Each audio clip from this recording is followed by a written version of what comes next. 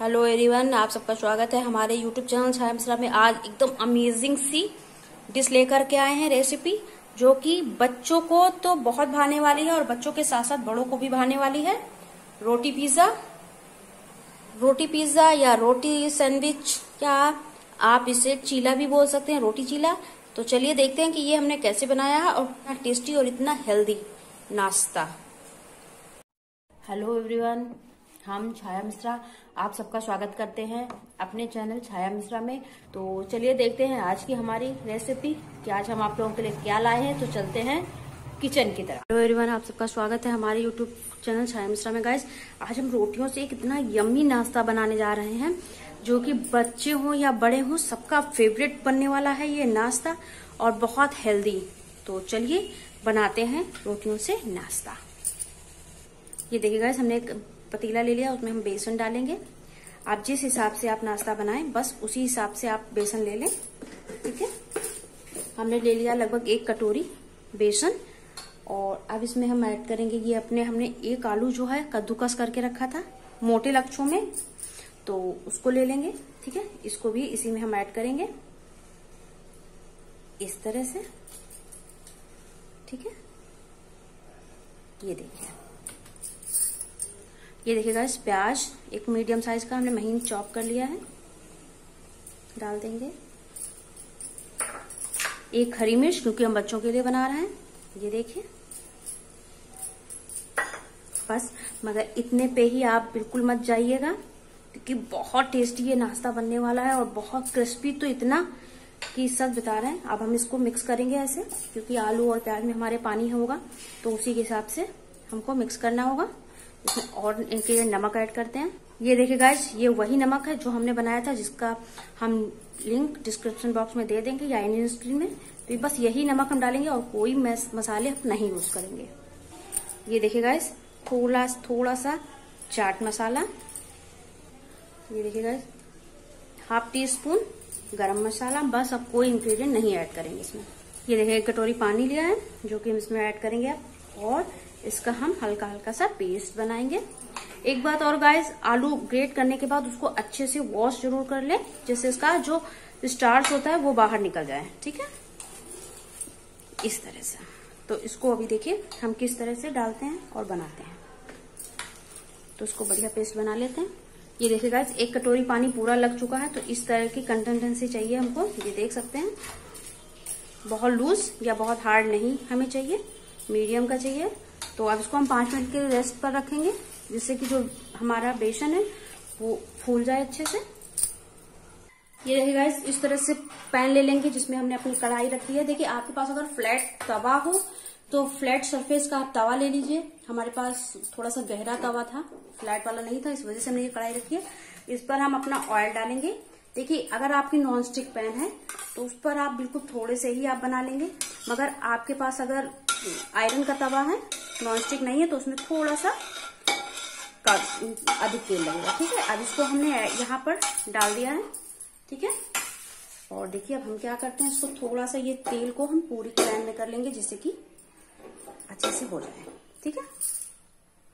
ये देखिए गाइस एक बार हमने फ्लेम को तेज किया, और और फिर हमने धीमा कर दिया। अब देखिए, इसमें मोस्ट इम्पोर्टेंट चीज़ जो इसको क्रिस्पी बनाएगा, ये हमने सेवई ले ली है, ठीक है?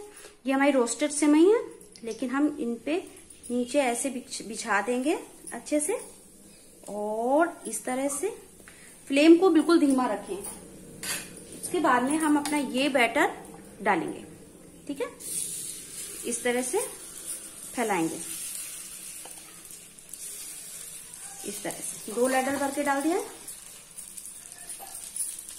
अब ये देखिए, इसमें हम अपने गोल छलेदार कटे हुए प्याज आप चाहें तो आप ऐसे ही बना सकते हैं, बिना रोटी के। बट हम देखिए इस तब क्रिस्पी सा नाश्ता बनाएँगे। ये हमने पनीर ले लिया है, जो आप कद्दूकस करके भी ले सकते हैं, मेल्ट कर कर भी ले सकते हैं, ऐसे इस पर डालेंगे। ठीक है? और आप देखिए क्या करते हैं। फिर से हमने थोड़ा सा ऐसे ऐसे इस पर डाल दिया, जिससे कि हमारी इसमें रोटी चिपक जाए। आप देख लीजिएगा इस तरह से। और इसको हम ऐसे चिपका देंगे इसमें। अच्छे से, जिससे कि ये हमारी चिपक जाए। ठीक है? तो अब इसको हम पकने देंगे। फ्लेम को बिल्कुल धीमी रखेंगे ताकि अच्छे से पके। देखिए गाइस इसको अब हम ढक देंगे। एक मिनट के लिए इसको कुक होने देंगे। और फ्लेम का हमेशा ध्यान रखें, बिल्कुल स्लो फ्लेम पर पकाना है। अब ये देखिए गाइस ये लगभग लगभग छुटने लगा है। ये देख सकते हैं आप। तो अब हम क्या करेंगे? आप एक ट्रिक आपको और दिखाते हैं कि अब हम फिर से एक लैडर लेंगे, ठीक है? और इस रोटी को बढ़िया से कवर कर देंगे, ठीक है? इसका कोशिश ये करें, जो ये बेसन का बैटर है, ये थोड़ा सा पतला फैलाएँ, अधिक मोटा ना फैलाएँ, ठीक है? इस तरह से, ठीक है? तो इसको अब हम फिर से पकने देंगे ऐसे ही। इसके ऊपर भी हम सेवैया ऐड करेंगे, ऐसे, जिससे कि ये भी क्रिस्पी बन जाए अच्छे से। ये देखिए इस तरह से। अब इसको हमें पकने देना है ऐसे कम से कम दो मिनट। देखिए गाइस दो मिनट हो चुका है। और अब इसको हम पलट देंगे। ठीक है? तो इस तरह से करके अच्छे से संभाल के इस, इस तरह से पलट देंगे। देखिए गाइस थोड़ा सा ये हुआ है कि इस साइड में थोड़ा सा बेसन का जो बैटर था वो अधिक हो गया है। आप लोग ध्यान रखें, इतना अधिक मत करें ठीक है? तो इसको क्रिस्पी करते हैं। ये देखिए गाइस उलटते पलटते हमने अच्छे से सेक लिया है क्रिस्पी ये देख सकते हैं कितना क्रिस्पी होगा। ये देख सकते हैं। तो अब इसको हम रख लेंगे और नेक्स्ट भी इसी तरह से, उसी तरह से सेकेंगे जिस तरह से हमने पहले सीखा था। ये देखिए गाइस दोबारा से भी वही करेंगे। हल्का सा बैटर फैलाएँगे। देखिए, पिछली बार हमने बैटर थोड़ा सा थिक ज़्यादा फैला दिया था, ठीक है? बैटर ज़्यादा था तो थोड़ा सा टाइम ज़्यादा लगा सीखने में। देखिए, अब की बार हमने बैटर बिल्कुल थोड़ा सा ही रखा है, ठीक है? अब इस पर रखेंगे रोटी। फैलाया, उसके बाद में हम रखेंगे इस पर प्याज की स्लाइस। इस तरह से अच्छे से।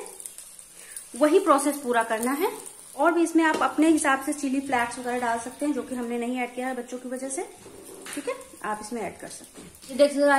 थोड़ा सा हमारी ये नॉन स्टिक कढ़ाई थोड़ी सी खराब हो चुकी है तो इसमें कोई भी चीज़ वो चिपक जाती है। ठीक है तो देखिए, ये पहला जो हमने बनाया था, वो थोड़ा सा हमें दिक्कत में छुटाने में, मगर दूसरा देखिए, हमने कुछ भी नहीं किया, आराम से छूट गया, ठीक है? तो इसीलिए हमने बोला था। और इसको पकने देते हैं। ये देखिए गाइस कितनी आसानी से आ गया है। एक बात और गाइस देखिए, अगर आप बैटर कम रखेंगे थोड़ा सा, पतला रखेंगे तो जल्दी पकेगा और जल्दी बनेगा। देखिए, हम अपने नाश्ते की सारी जो वो चीज़ें हैं, बताते हैं कि कैसे बनाना है आपको, क्या करना है। तो ये देखिए, इधर हमने कम बैटर लगाया था, कितना बढ़िया बना है और इतनी जल्दी सीख गया हमारा। और अगर आप उसमें बेसन का बैटर ज़्यादा लगा देंगे तो थोड़ा सा टाइम लगेगा। और गाय सब्ज़ियाँ आप इसमें कोई भी ऐड कर सकते हैं। बीन्स है, मटर है, कोई भी सब्ज़ियाँ ऐड कर सकते हैं आराम से, ठीक है? तो इसको पकाते हैं, अच्छे से फिर मिलते हैं। ये देगा ये बन चुका है, इसको हम करते हैं सर्व तो आपके पास अगर पिज्जा कटर हो तो आप उससे काट लीजिए। तो ये देखिए, आप देख रहे होंगे कि कितना क्रिस्पी है। और उसको ऐसे हम लगाएँगे निशान, जैसे पिज्जा काटा जाता है। ये देखिए। ये देखिए गाइस कितना डिलीशियस होगा। आप खुद सोच सकते हैं कि कितना यम्मी और कितना डिलीशियस होगा। तो रोटी का नाश्ता तो इसी तरह से बनाएँ अपने घर में और सब बड़ी बच्चों को खिलाएँ। देखिए, रोटी बच्चे या हो या बड़े हों, कोई नहीं खाता। बट इस तरह से नाश्ता सभी खाएँगे तो चलिए सर्व कर देते हैं। ये देखिए गाइस हमारा नाश्ता बनकर बिल्कुल रेडी है। देख सकते हैं आप, कितना टेस्टी और कितना यम्मी आप इसे रोटी का चीला भी बोल सकते हैं, रोटी का पिज्जा भी बोल सकते हैं और आप इसे अच्छा सा रोटी का नाश्ता बोल सकते हैं। तो देखिए कितना यम्मी और कितना टेस्टी है। ये हमने अपनी, इसके साथ छाछ का प्रयोग किया है, छाछ सर्व किया है। और इस पे ये वही नमक है जो हमने बनाया था, जिसका हम लिंक डिस्क्रिप्शन बॉक्स में आपको दे देंगे और इन स्क्रीन में भी दे देंगे, आप लोग देख लीजिएगा। तो आज की हमारी ये रेसिपी अगर आपको पसंद आए तो please like subscribe and share thank you मिलते हैं नेक्स्ट डे नेक्स्ट रेसिपी के साथ।